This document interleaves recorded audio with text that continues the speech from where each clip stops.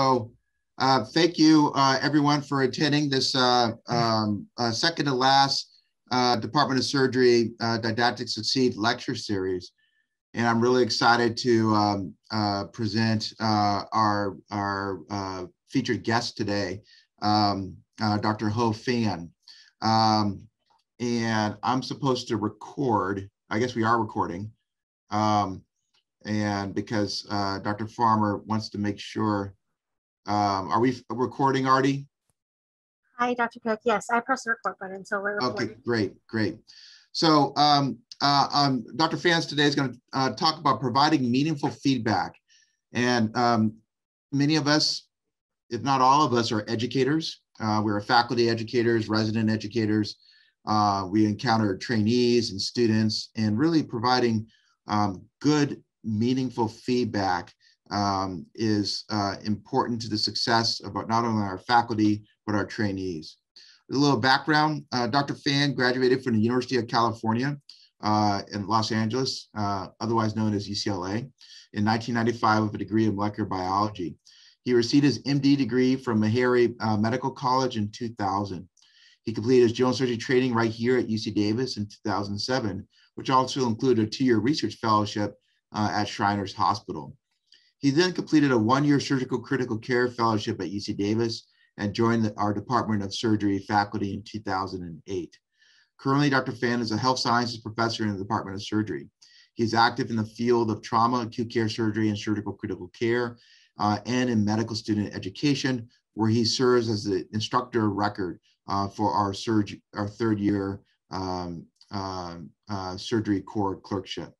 Uh, and without further ado, I'll present Dr. Phan. Um, and then um, um, there's also a possibility for uh, uh, CME credit uh, if you are so interested. Uh, thank you very much. And I present to you Dr. Phan. Thank you, Dr. Cook. Let me share my screen, uh, make sure that I have sound and video clip sharing. You should be, you should see my uh, screen well. Uh, let me see, let me swap side real quick. You see the big uh, screen now, right? Not the small screen anymore, correct? Exactly. All right, thank you. Um, all right, so uh, the talk, as Dr. Cook uh, is saying, is that is about providing meaningful feedback. I wanted to change it to effective feedback, but I think I'm just going to leave it at meaningful feedback even though those two words I'm going to be sort of interchanging throughout the talk. Um, so I have nothing to disclose except for one thing. Uh, so having some knowledge about giving feedback doesn't mean that I'm really good at giving feedback. I just want to disclose that. Uh, however, um, uh, having the knowledge uh, does uh, make me want to uh, always strive to do better and learn to give better feedback. Uh, also, uh, it helps me to, uh, in terms of medical student curriculum, uh, to know when and how and where to incorporate feedback in uh, as part of their uh, curriculum. All right, so this is the outline of the talk. Um, first is why give feedback? And then we'll touch a little bit on some of the barriers to giving feedback. And then we'll we'll talk about the process of giving an effective feedback. Um, so that's going to be the bulk of the talk, hopefully in the middle there.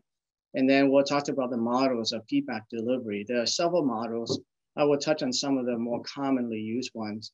And then hopefully I will end with some take home message that everyone can use. So let's start with why we should be giving feedback. So feedback is an integral part of the learning process. We are all familiar with the century-old apprenticeship model in which students learn by role modeling. So in this model, the apprentice watched the master do his job and then learn from watching and doing. So this is sort of exemplified by the famous surgery mantra, you know, see one, do one, teach one. Uh, but without feedback from the master, this model would not be as effective. So feedback allows the learner to calibrate their performance and to formulate plans to close a gap between the current and expected performance. So learning usually begins with delivering the, uh, by defining the educational goals and objectives. So the teachers will then give the students instructions on how to achieve the goals and objectives. And then the student's job is to study and practice the set skills. Along the way, the student will self-assess and the teacher will evaluate the student's progress and where they are in a meeting. Uh, so, and also kind of evaluate where they are in meeting the objectives. So this is called feedback. So the self-assessment and the feedback will allow the student to modify their behaviors toward meeting the goals and objectives. That will complete the, uh, this, the learning cycle. So why is feedback important in medical, uh, medical education? So studies have shown that feedback enhances medical student satisfaction so Torre and college, uh, colleagues um, demonstrated that provision of bedside feedback, among other things, is a strong indicator of fellowship quality. So provision of feedback has also been shown to improve students and residents' clinical performance. Feedback will also improve the accuracy of the learner's self-assessment. So over time, the process of receiving feedback can help the learner self-reflect and learn to identify their own learning needs uh, and they can then design uh, improvement plans uh, with less faculty supervision.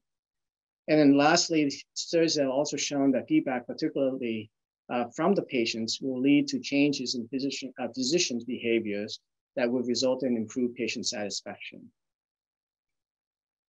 So in the absence of feedback, the students may mistakenly assume that they are doing well, even though they may uh, be making serious errors Conversely, students may think they are doing poorly, resulting in damage in the self-esteem. Students may feel uncertain about the performance and therefore they are unclear about what they need to do to improve. And if feedback is not given during the rotation, the student or residents will learn about the shortcoming only after the fact, and there's no more opportunity for them to affect change. So without feedback from the teachers, students and residents may sense that the teachers are disinterested So I also want to, um, it, it's sort of important to also differentiate between uh, formative and summative feedback, even though both of them are labeled as feedback.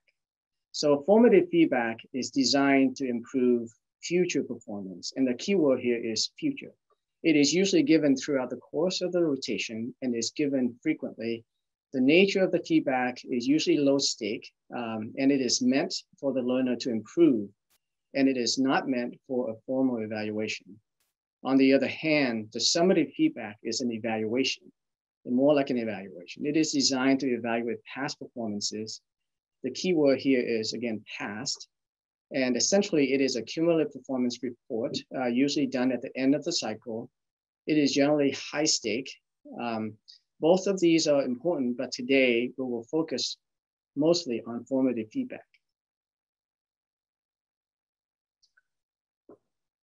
So if feedback is that important in the learning process, why are we not doing enough of it? Uh, so it turns out that there are a lot of barriers to giving feedback. So faculty may not feel equipped to give uh, effective feedback, especially in the med med uh, medical education field. Faculty say that they were never formally trained to give feedback.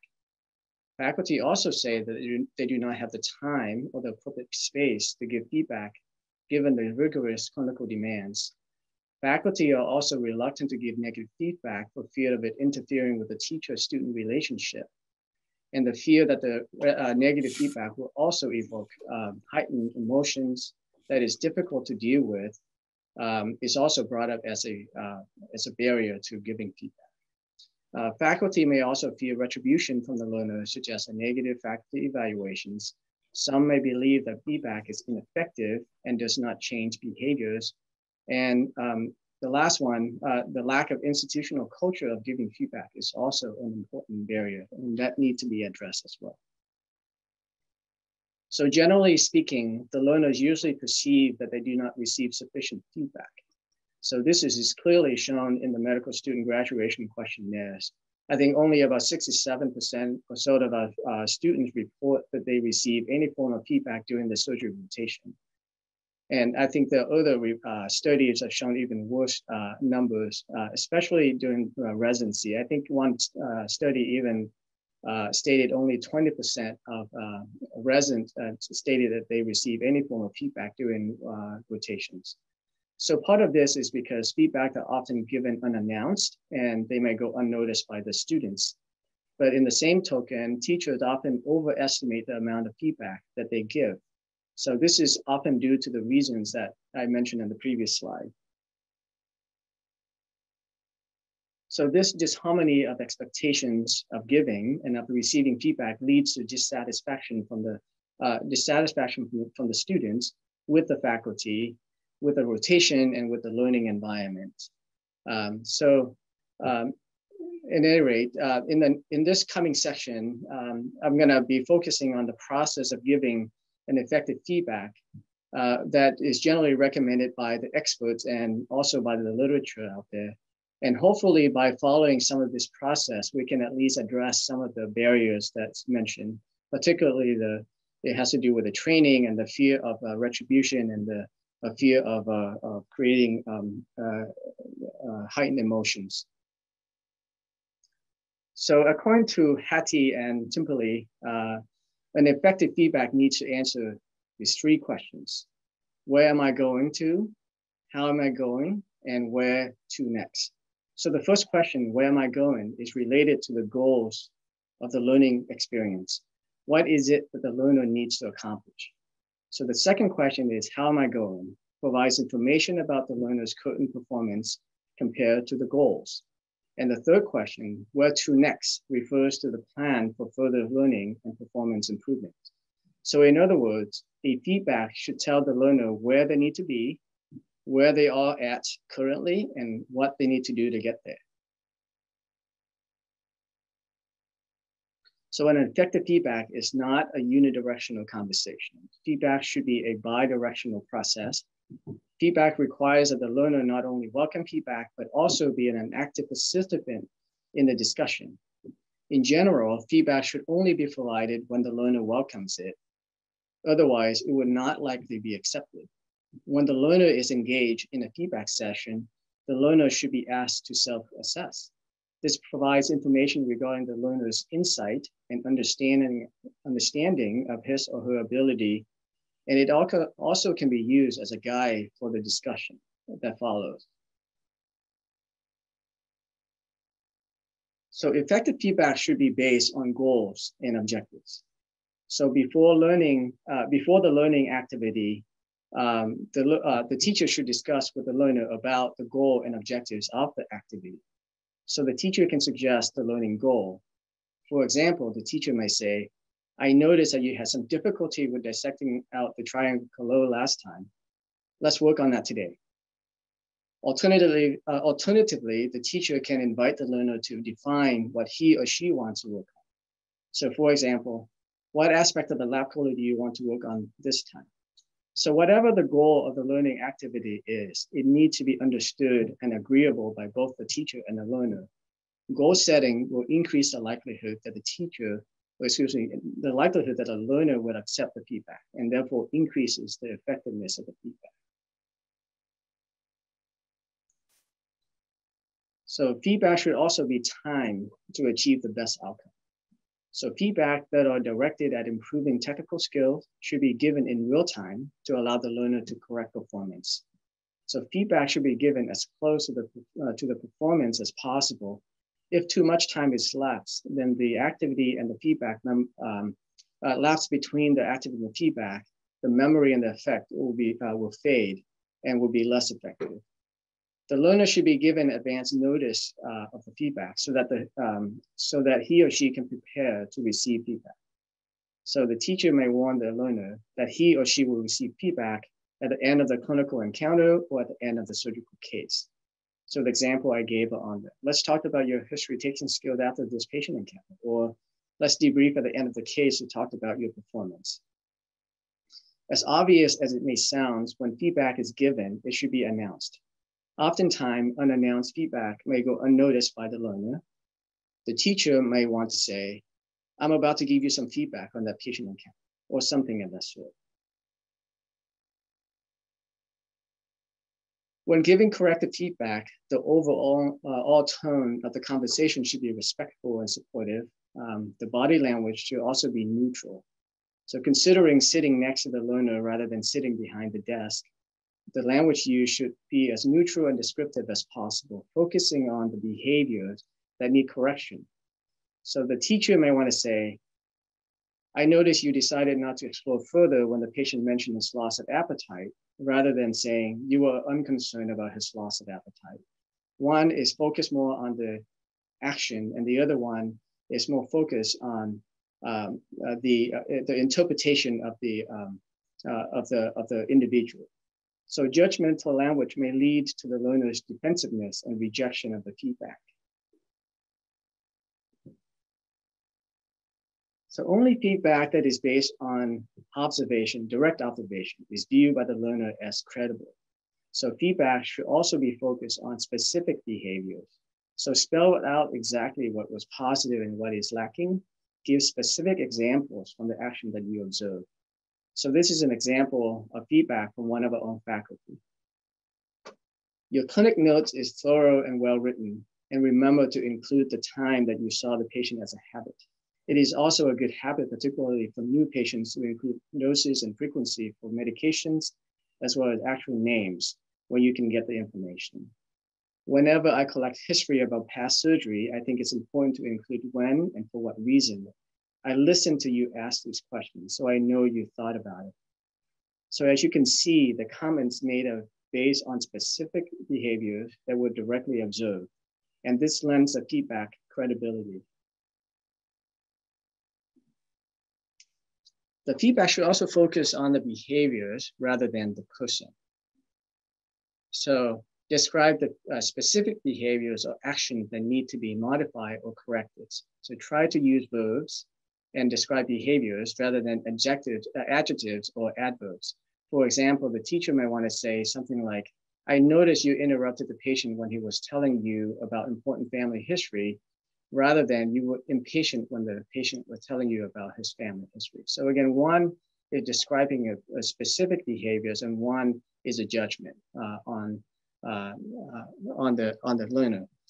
Uh, another example is when you are mobilizing the colon, your dissection plane was deep and you enter behind the kidney rather than you still don't know the plane of dissection well. So one has a, uh, a tone, like a judgment tone, uh, and is not neutral. So feedback that is focused on the person can damage the person's self-esteem and may result in the rejection of the feedback. Also avoid the para of praises. So examples are like, you are natural at this. Great job, keep up the good work. So statements like these uh, imply that the person rather than his or her work is being evaluated. So these types of feedback also has um, an addictive quality um, per se, and when the learners come to expect it, um, uh, and uh, it is not given, they feel let down or even discouraged. So the, the other thing too is that the learner should be given an opportunity to self-reflect on his or her own performance. So start by asking questions like, how did that go? How did it feel to you? What went well? What could have gone better? So the learner's self-assessment can provide information regarding the learner's insight and understanding of his or her ability when they're performing um, the task. So the learner may bring up the same points that the teacher wants to address, and that could serve as a basis for feedback discussion. So this also allowed the learner to identify his or her own weaknesses, and the perception of harshness associated with the negative feedback may be softened a bit, thus making sensitive corrective feedback feel uh, more acceptable. The feedback session um, can be loaded with emotions. So the learner can feel defensive, uh, they may feel gratified, may be angered, among other uh, emotions. So these reactions are uh, part of the natural response of being observed and being evaluated, uh, and part of it being uh, receiving negative feedback. But they can, uh, these emotions can diminish the student's openness to feedback and can be particularly strong if the feedback is on the area that the learner did not identify as being problematic in the first place. So the learners could view feedback as personal attacks on them. And generally people, um, learners and people in general uh, prefers information that protect the self-view. So when they receive negative feedback, they can have really strong emotions. So emotion need to be addressed for feedback to be effective. And um, sometimes it may be helpful to normalize reactions um, by saying things like, yeah, these can be really difficult. You know, it's, you know, uh, I understand that it's really difficult to hear, but so the faculty can also check in with the learner uh, about the effect of the feedback. Uh, so sometimes, uh, you know, there are visual cues that the uh, a teacher can uh, sense from the learner, but they're not really um, expressing um, it in words. So what the teacher can do is try to check in with them and allow them to express their emotions. So by saying things like, what do you think about what I just said? Does this make sense to you?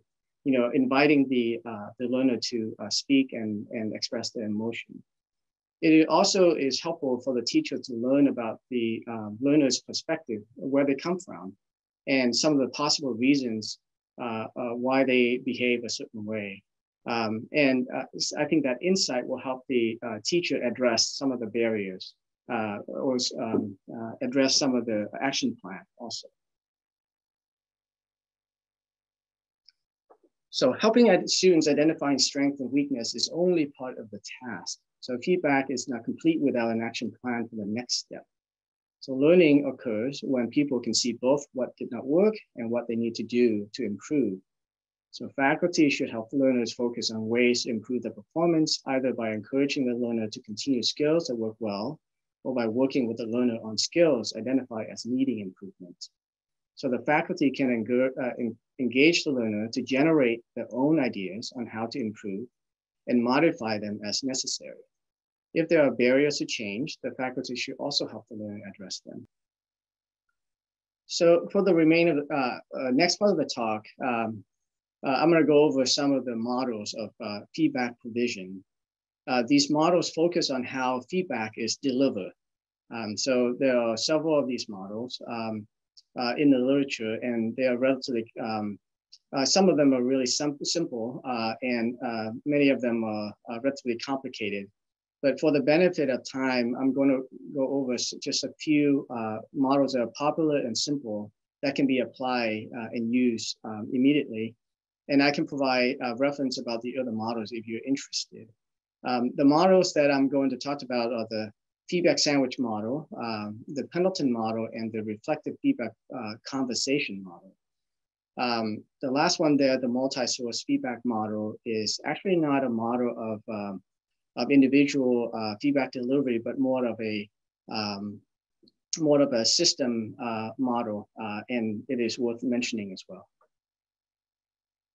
So let's start with a uh, feedback sandwich model. Uh, this is by far the most popular uh, and the most talked about um, model and the most uh, that I've read about uh, when I was uh, looking, um, reading about this particular topic.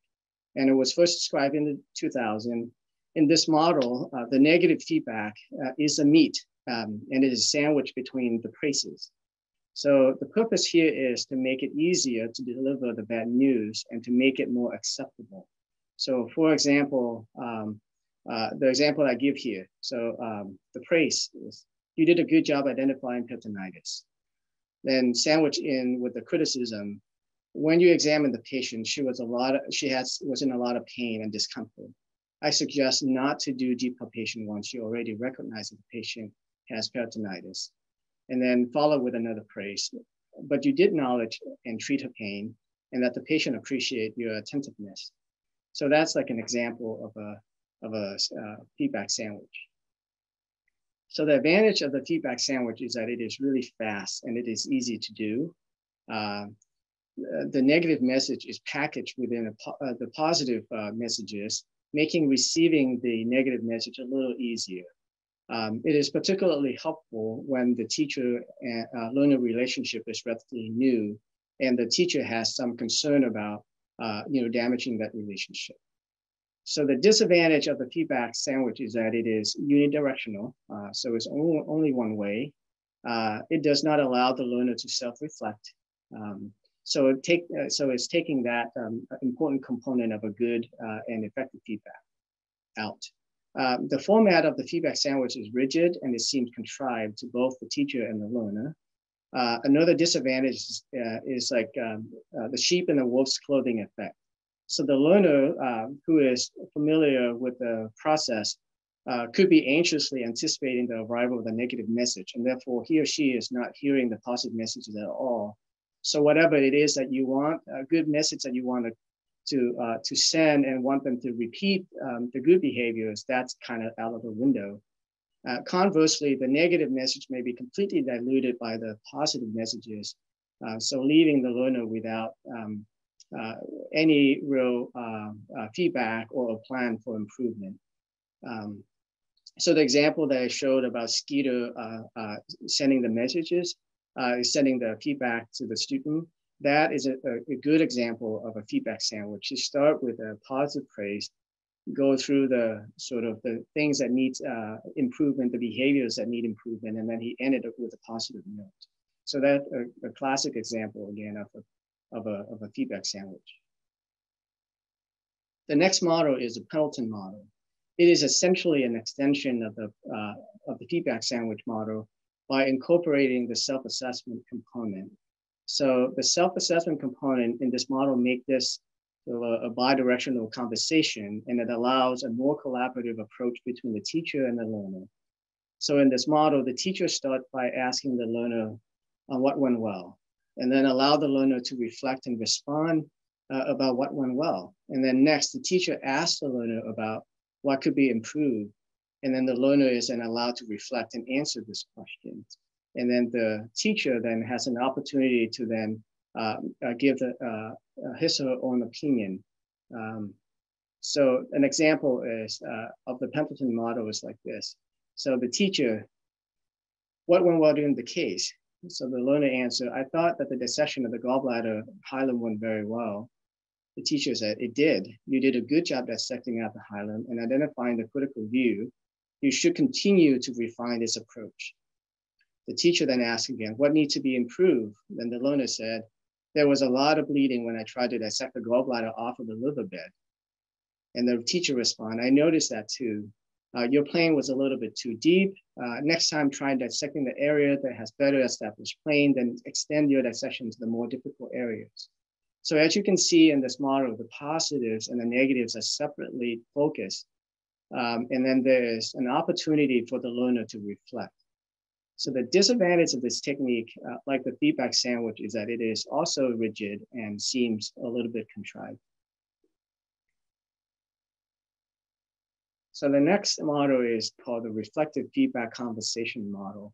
So taking the Pendleton model a step further, the reflective feedback conversation model delves into the learner's self-reflection to put the assessment of the performance at the center of the conversation. So the teacher usually start with the learner's concerns on both the positive and the negative areas and what could have been better. And then the teacher will facilitate the reflection and add corrections as needed. So the teacher might pose a questions like, do you have any concerns about your recent performance? What could have done better? Is there anything might uh, make things easier next time? So in doing this conversation, the teacher would elaborate on the performance. So, you know, extend on it um, and then the teacher would then insert some positive statements. So time, you know, the, the time and the, uh, if the, especially when uh, the teacher perceived that the, the students are having these difficult emotions, then that's when the positive statements were then uh, given. And then check the, uh, on the students on the understanding of, of the conversation and what um, uh, what are some of the uh, feedback that you give, and then add corrections as needed. So essentially, it is just a conversation, but the, the conversation is based on what the perception or what the, the assessment um, that is uh, done by the learner. So whatever the learner's assessment is, uh, the uh, teacher and the learner will then have a conversation about it, but expand on it further. But then the teacher will then inject in uh, the con conversation some of uh, his or her thought. Uh, um, and then also uh, during that process, um, ways to improve. So sometimes it could be difficult for the learner to properly reflect on the clinical situation and thus making the uh, facilitation of the reflection um, really a crucial component of improving performance. So the example, the second example that I show you on the video is a good example of this um, uh, of this reflective feedback conversation model. So there are several other models of feedback delivery uh, uh, I that I won't go over today. Some of them, uh, uh, a lot of them are based on the uh, psychology uh, sort of um, literature, but most of them are really centering on a few important concepts, like creating a, starting with, by creating a relationship with the learner, allowing the learner to reflect on his or her own performance, which then is used as a launching pad for the feedback discussion, providing support, coaching the learner to uh, develop the action plan. So all sort of the same thing, but they all structured slightly differently. So uh, another uh, model of feedback worth mentioning is the multi-source feedback model. So also known as a 360 degree evaluation. So I think most of us have heard about this. Um, uh, it is not a model for feedback delivery like the previous models that I just uh, discussed, uh, but it's more like a system-wide approach to feedback. So it is widely used in the business uh, business um, world, uh, and um, it is relatively new, uh, newer in the medical in medicine and medical education. As the name implied, it is set up so that the learner can get feedback from multiple sources, including teachers, peers, nurses, ancillary staff, and patients the idea is that the learner can get different feedback perspective from different individuals uh, who might be involved in the learning process. So the classic example of the multi-source feedback that I'm familiar with uh, is a CPX uh, or the clinical performance uh, examination exercise at UCD. It is a longitudinal process, so it takes multiple days and sometimes the whole semester to uh, uh, or the whole year, some uh, uh, I think the whole third year that, that they do the CPX exercises. So it started with a student um, having a clinical encounter with a standardized patient. And in the room, a standardized patient uh, is one standardized patient, and then two of the peers and one faculty. So the encounter is also recorded. And at the end of the encounter, the student will get uh, feedback uh, from the patient. The patient will tell them uh, uh, how um, uh, you know how they how they perceive the the doctor is essentially focus more on a patient-doctor relationship, and then they would get assessment from the peers and then also from the faculty in the room. And then the students then uh, have a little bit of time to reflect on that feedback inside the room, but the majority of that reflection is going to be done outside after the fact. Um, at the uh, so after the encounter, then then the uh, the students will then have a chance to review the video and reflect on some of the comments that were made uh, and feedback that were made by their peers and by the patient and the faculty. And then they will come up with areas of strength and weaknesses. Um, and then they will have that discussion with another faculty who is really skilled and experienced in education uh, that will help them develop a plan for improvement. And then uh, the students then is now on with this plan, uh, you know, has this plan in, uh, in place, and they will continue to practice some of the, that plan, the skills uh, that they have on their clinical rotation. They continue to practice on it. And then they have to come back later um, uh, uh, and repeat um, another one of these standardized encounter. And the second time around is gonna be a lot higher stake. Um, so that's that's an example of, of of the multi-source feedback where the student gets uh, um, feedback from multiple individuals and from different uh, perspectives. So in many ways, our surgical practice and quality improvement follow this sort of multi-source feedback model. We receive feedback from our peers at quality improvement meetings and reports on quality assurance data like NSQIP and Vizient and receive, um, we also receive, you know, patient satisfaction data. We receive feedback from the hospital system regarding timeliness and medical record completion, et cetera, et cetera. So um, it is everywhere. Um, my understanding is that the multi-source feedback is also mandated by all residency, the ACGME accredited. Um, and I believe that um, I think uh, patient surveys is a required part of the American Board of Internal Medicine's maintenance certification program too. I don't think we have that in uh, general surgery uh, maintenance certification, but uh, in internal medicine, that is a component of it. So although the multi-source feedback model has been shown by net, uh, a lot of studies um, in industry as well as medicine to result in individual improvement and adoption of new practices, it is not without um, challenges. Um, so a few studies I've reviewed have looked at uh, its validity, uh, particularly in medicine, and that they identify a few challenges. So there are several factors that will influence whether the physician receiving feedback will change. So the first is the source and the content of the feedback. So in general, when the feedback is perceived as positive, the, uh, the physicians in general do not change their practice at all. So they view that this is, I'm good, I'm, I'm fine, I'm not going to change the way I practice. But when the feedback is perceived as negative, you would expect that all of them will, uh, most of them will change. But uh, it turned out that only a little bit more than half of the physicians will, that receive negative feedback uh, will actually, cha- uh, actually change their behavior. And when you really ask them why uh, they don't change their behavior. And the reasons they stated is that um, they they don't think the source uh, is um, is credible.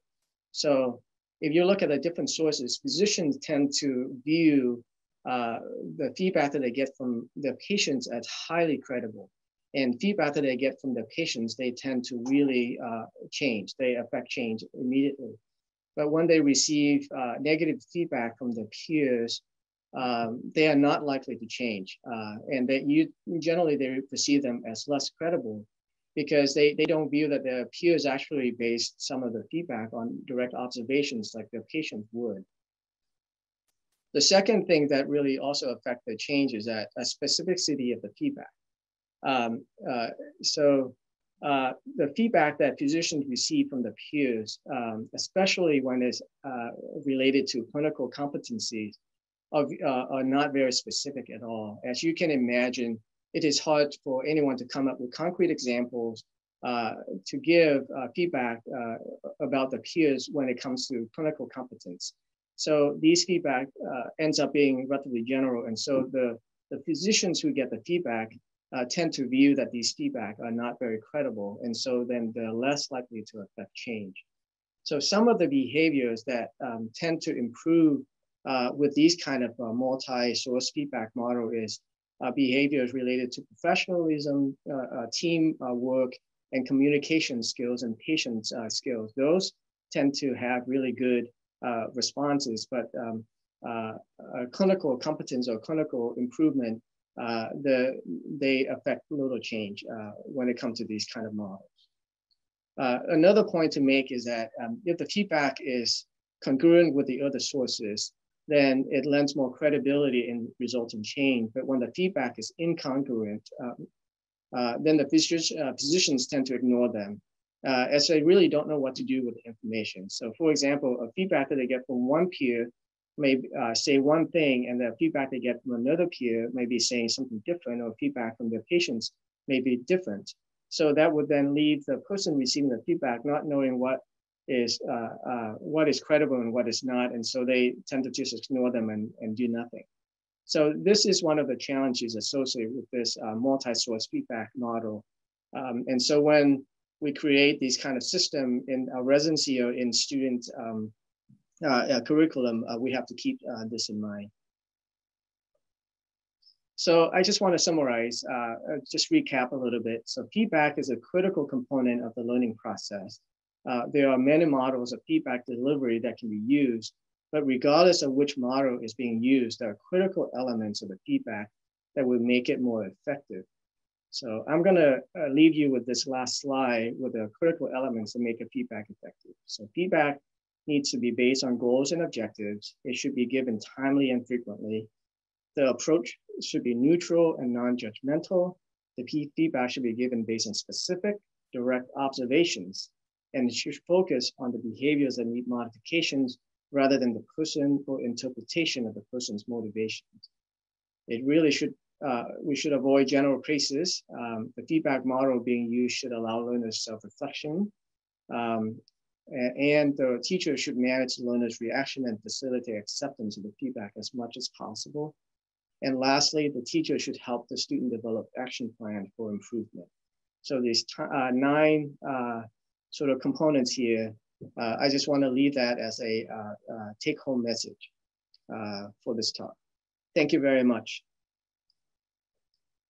Thank you very much, Dr. Phan. That was really a wonderful um, overview of the science of uh, feedback in regards to medical education. Um, and we have uh, time for uh, questions uh, from our audience.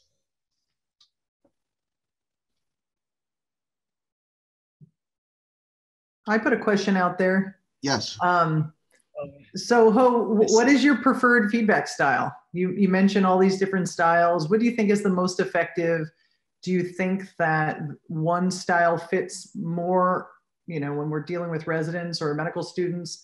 Um, or do you kind of tailor the feedback to the person? What is your, what is your feedback on that yeah. question? I think I tend to uh, tailor the feedback. So if I'm, I'm doing a written feedback, for example, if they give me an H&P uh, that I want to uh, give feedback on, it's kind of hard to have a conversation with the feedback. I think the, the sandwich model, uh, feedback model works well uh, on that because then you kind of give your positive and you give them uh, some of the things that they need improvement on. I think that's that's a good way to do it when you you're sending a written um, sort of feedback like what Skeeter did. That that was a written uh, that was a written uh, um, uh, feedback to a student encounter uh, encounter in clinic. So that's perfect. Um, I think when you have a conversation uh, uh, with a resident or student, I think um, using either the Pendleton model or the reflective um, feedback conversation is better. I think that because we tend to have a very good relationship with our residents, um, uh, they trust us. Um, I think it's uh, much easier to have a more extensive conversation uh, with them.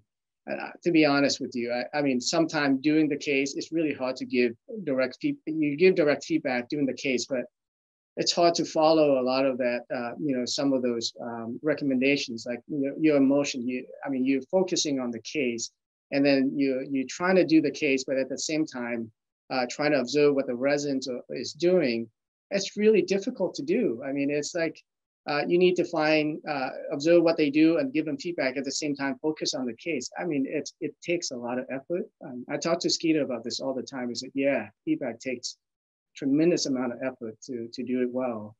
And uh, it doesn't mean that we shouldn't try to do it. Um, uh, I think the other thing is, uh, you know, I mentioned about the goals and objective. I think that's really nice to do. I think it's is actually because I can imagine like when you go, we go in a case, um, the chief resident doesn't have to do everything, and the and there are things for everyone. So uh, I think if time allow, it'd be nice to talk to the third year resident and then the chief resident, say what the what they want to um, what they want to achieve with the case, what do they want to learn with the case. Maybe as junior residents may benefit from getting to the abdomen and do it well, like do it at midline without getting to the muscles, things like that. And then maybe the chief resident would then focus more on the actual dissection or, or something that's more relevant to their um, uh, to their level of training. So I think ideally that would be the way that we should uh, should be doing it.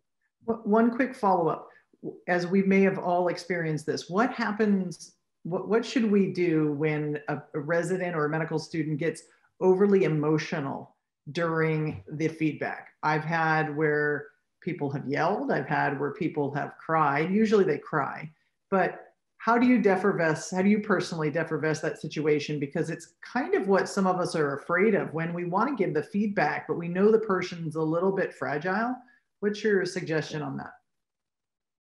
I think manage the emotion first uh, always because if they're emotional, there's no way that they take away any message that we uh, that we try to give them. I mean, it, when I mean that the the cognitive uh, um, uh, model of learning, basically, if they're emotional, if they're stressed, there's no way that they can uh, take uh, in anything. So I think that at that point, the most important thing is manage that emotion. And again, the feedback doesn't have to be happening only in one setting. So meaning you manage the emotion first, and then the next encounter or the, the following encounter, I think then uh, driving that message a little bit more. It's like uh, then uh, when the emotion is already in check, um, I think then they will receive the message a little better.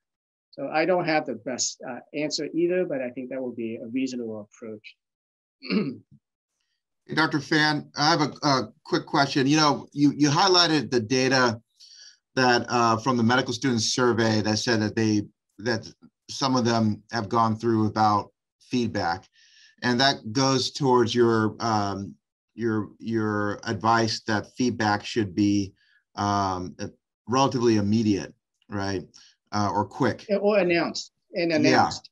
Yeah. And so, Yeah. what are your thoughts on, you know, one of the challenges for surgeons to provide feedback is uh, there is a fatigue factor, right? So you you you have a difficult case or a, a clinical experience, um, and where you know a, a, a trainee maybe involved the case, and um, uh, after the case is done, uh, ideally that would be the the best time to provide that feedback.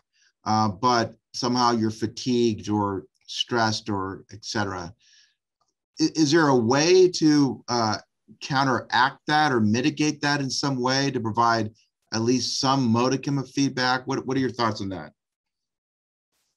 Yeah, um, that's. I mean, that's a that's a challenging. Uh, uh, that's a challenge situation too. Um, but you know, like at the end of the case, the uh, the circulatory nurse will ask us, uh, "Let's debrief about the case." Um, I think if um, I think if we make it uh, part of a routine, then maybe um, uh, maybe it's less of a maybe it's perceived as less of a burden. I, I guess sometimes it's still perceived as a burden to give feedback, um, uh, to give that debriefing at the end of the case. Uh, but if we make it a routine, sometimes we just sort of do it. Um, but then, I mean, if you're tired, if the, everyone is tired, I don't know whether the feedback is going to be that effective at that moment. Uh, you know, if everyone is emotional or tired or, or uh, then uh, it may be too difficult. Um, so I don't know, maybe wait for the next, uh, maybe wait for the next encounter or before the next case. Uh, give them some feedback about that and maybe work on what is going to be, uh, how we're going to correct it for the next case. So that maybe that's one way to do it. But I don't have a, a, a good answer either. But uh, I mean, the feedback could also be relatively short. one of the things I didn't mention on there is that um, uh, the the, uh, the the learner, the person giving the feedback, also have to sort of judge the quantity of the feedback. So most people can only receive a couple of learning points, maybe uh, at the maximum of three. So when we give feedback, uh, I guess we have to prioritize what is more important uh, feedback to give, and maybe the other feedback can give in at a different time, at a different encounter, but try to make it so that um, it's a little bit um, uh, only a, a, maybe one or two teaching points uh, for that particular encounter. And maybe that makes it a little easier to do uh, when everyone is tired, just focus on the one or the two. I don't know. I hope I answered some question. Yeah, that's great. Great. Yeah. Dr. Phan, can I add just a, a, question on there to Dr. Cooks, which is um, like we we've gotten better. We're trying to get better at like telling the students uh, med students and junior um, residents that this is a feedback session type thing. When those questions came about that you were looking at, was it specifically on the faculty, on an attending feedback, or is it also including the residents? Because we try and do it as much as we can as well. Yeah, a lot of the literature are, are actually the, the people giving feedback are faculty. And uh, the learners uh, in most of the, uh, the literature that I've looked at are students or residents. Um, and then some of the multi-source feedback, it's in general, it's uh, physicians in, uh, in, in clinical practice and some uh, are, are residents. I mean, you can't, you can't imagine how easy, difficult it must have been to do some of those studies because they require like feedback from patients and feedback from, from, from nurses and ancillary staff it, right. it, does take some effort to to have that kind of a system. I was and thinking. I don't know. Uh, residency have that here. I I know that I don't know. You guys get uh, any uh, evaluations from patients or nurses? We don't necessarily. We I mean only when you get written up for being tired on call all night. Um, but most of the time. but that's. Is there a? Uh, but I mean the students like the the students that come through a surgical rotation. Um, I know that our like feedback rates are pretty abysmal. But the question, you know, I don't know if that's coming from if the question asks, is it a faculty member that evaluates you, or is it any evaluations? Uh, any feedback evaluation from anyone. Uh, when the student answer those questions, it could be from anyone. And I suspect all of them receive some form of feedback one way or another during the rotation. The issue here is that they don't perceive it as feedback or they don't perceive it as effective feedback. So that's where that's where we need to do better is that we have to give them feedback that is more effective. And then every time we give feedback, we should really announce it.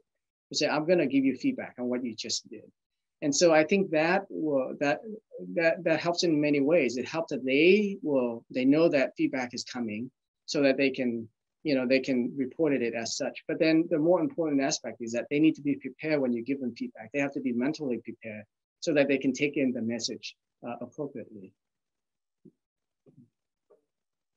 Great, wonderful. Well, uh, that hits the 4 p.m. mark, and uh, I uh, really appreciate Dr. Phan. really wise advice, and I look forward. Uh, I'm not providing you with a feedback sandwich right now. I'm just giving you um, non-productive accolades. So uh, thank you uh, very much, and thank you for our audience for attending today. Thank you, everyone. All right, take care. Take care.